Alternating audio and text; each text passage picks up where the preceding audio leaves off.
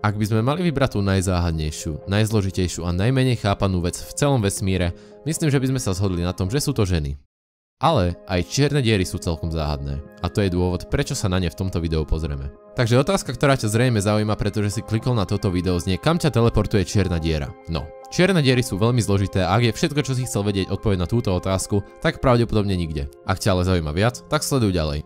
Aj keď čierna diera sa volá diera, vôbec to neznamená, že je dieravá alebo prázdna, práve naopak. Čierna diera je objekt s tak strašne vysokou hustotou, že za istým bodom, ktorý sa volá horizont udalostí, z nej už neunikne nič. Žiadny objekt ani svetlo a dokonca ani malé mačiatko. Ku tomuto celému sa vrátim o chvíľu. Najskôr by ale bolo treba povedať, ako vôbec môže niečo takéto vzniknúť. Čierne diery môžu vzniknúť napríklad z umierajúcich hviezd pri procese zvanom gravitačný kolaps. Hviezda, ktorej dojde energia potrebná na fúziu, sa gravitáciou začne sama priťahovať a jednoducho sa vplyvom vlastnej gravitácie zmršťuje viac viac a viac. No a ak je hviezda, ktorá zomrie dostatočne veľká, vznikne čierna diera. Ak by hviezda nebola dostatočne ťažká na vytvorenie čiernej diery, mohla by sa s nej stať neutrónová hviezda, čo je vec na jedno ďalšie video, ale rýchly fakt. Ak by si nejakým spôsobom mohol nabrať motu neutrónovej hviezdy na čajovú lyžičku, vážila by asi 5 miliard tón. Ak by sa naše slnko s jeho hmotnosťou stalo čiernou dierou, jej priemer by nebol viac ako 5 km. To je celkom rozdiel oproti skoro 1,4 miliónom. Teraz sa môžeš pýtať, čo by sa zmenilo pre Zem. Nič extra. Zem by obiehala čiernu dieru takisto ako Slnko, pretože aj keď by čierna diera mala priemer len 5 km, celkový obsah hmoty by ostal nezmenený a tým pádom by aj gravitácia bola stále taká istá. Samozrejme, maličký rozdiel by tam bol v tom, že by sme bez Slnka skapali od zimy! Teraz späť ku tomu, čo to tá čierna diera je.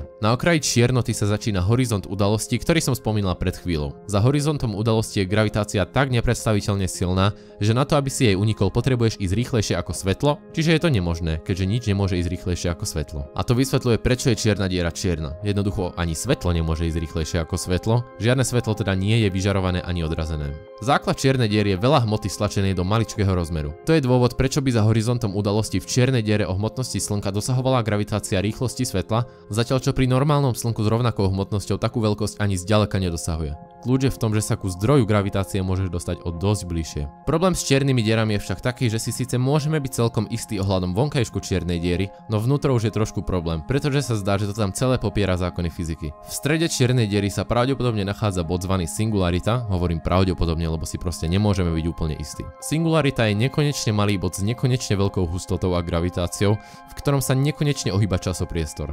Nechápeš? To je v pohode, nikto nechápe. Ak by sme pochopili, ako fungujú singularity, asi by sme boli o dosť bližšie ku zjednoteniu celej fyziky. To je pre toto video všetko počkať. Zabudli sme na Hawkingovú radiáciu. A na ohýbanie časopriestoru. A na tunelový jav. A na fakt, že v strede každej väčšej galaxie je supermasívna čierna diera. Dobrú noc.